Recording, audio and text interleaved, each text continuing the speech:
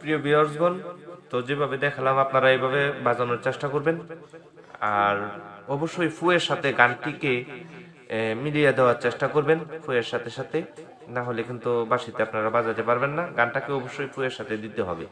আর ভালো four forty master toning বাঁশিগুলার যদি আপনাদের প্রয়োজন পড়ে, তাহলে স্ক্রিনে দেওয়ার নাম্বারে আমার সাথে যোগাযোগ করবেন। আমি একজন বাঁশির কারিগর বাসি তৈরি করে থাকি।